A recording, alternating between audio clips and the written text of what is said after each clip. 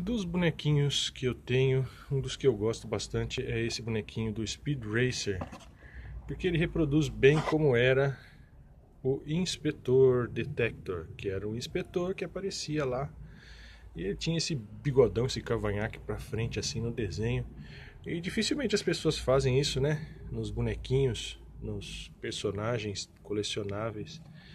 Mas é bem legal, eu acho bem interessante. O que você acha? Você gosta de reproduções fiéis e homenagens ao original, ao desenho original, eu acho super legal. Isso que eu coleciono, que eu acho divertido, eu me divirto com as coisas que eu vou encontrando. Isso aqui eu paguei 4 dólares e 99, comprei na loja e já faz parte da minha coleção. É bem legal, né?